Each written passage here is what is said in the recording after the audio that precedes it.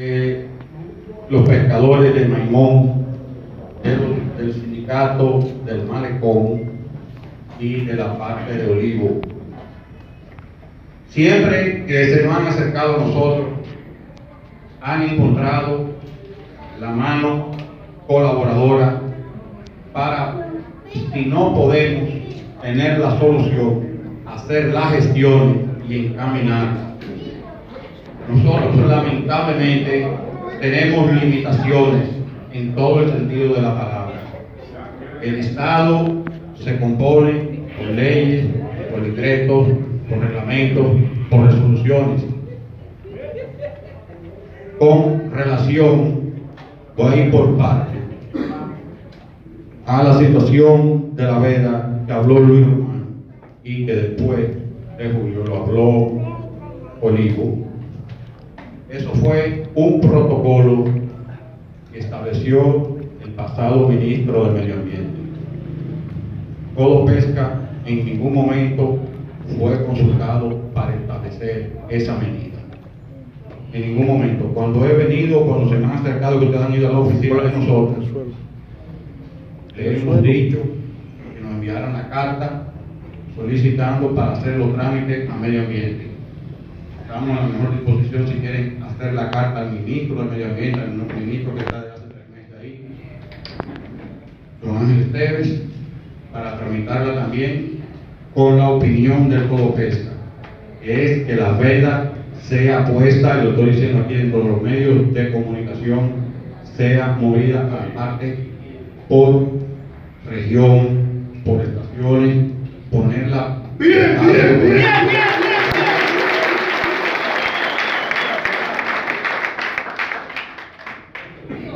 No ponerla en, el país entero, sino de, por ejemplo, se pudiese tomar del masacre hasta Boba o hasta la Isabela, un ejemplo estoy hablando, y luego se traslada entonces de Isabel y se lleva hasta el área de Samaná, y así vamos dando la vuelta al país, a los 1500 y algo de kilómetros que tenemos de costa.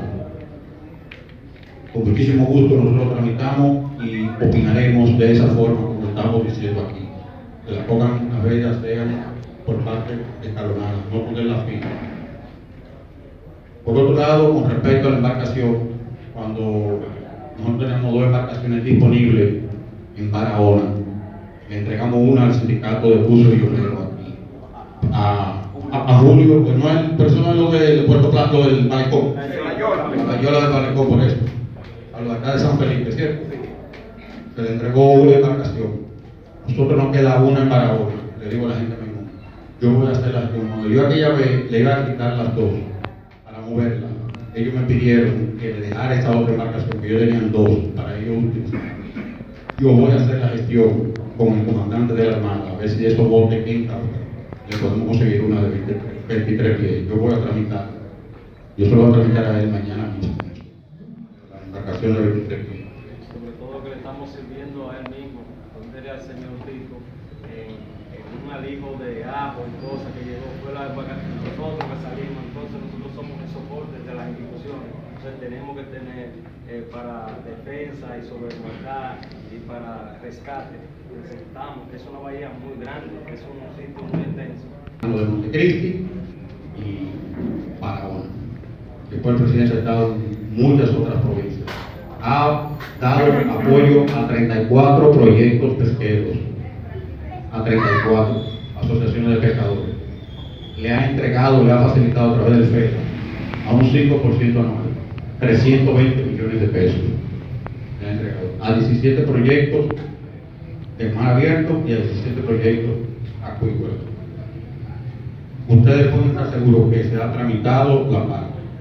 Lo que pasa es que tienen muchos expedientes, son muchos renglones de lo que hay.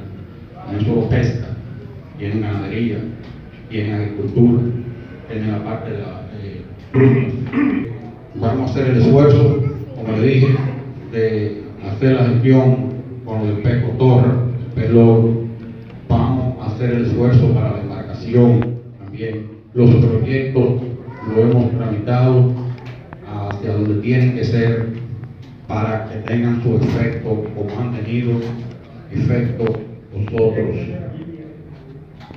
Eh, nosotros nos hemos abocado en que no solamente se le está dando facilidad con el presidente para las yolas, para la aplicación de 23 pies. Ahora lo que se le ha ido poniendo, tengo que reconocer también que eso fue una idea que por uno de Olivo, de darle, buscarle embarcación también a esos proyectos de pescadores de 60 pies.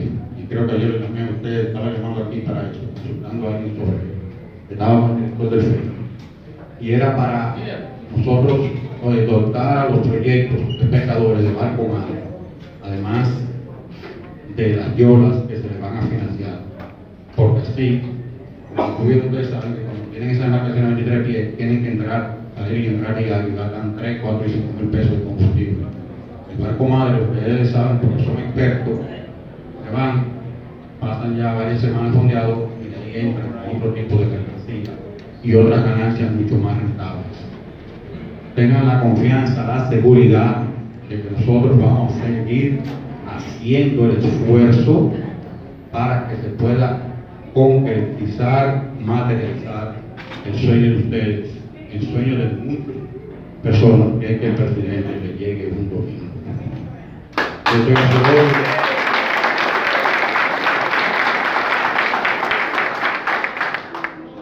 Yo seguiré tramitando, seguiré haciendo las gestiones, a ver cuándo puede ser que venga acá a Puerto Plata.